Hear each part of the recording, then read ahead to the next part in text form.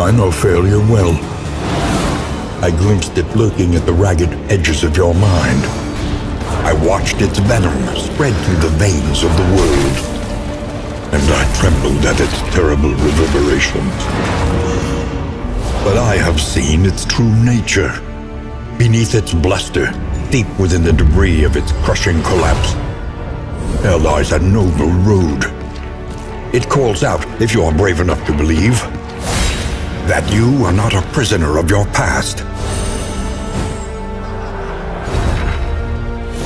That the fractured bones of this world can be mended. That a fragile flame, long guttered by sour winds, can blaze radiant once again.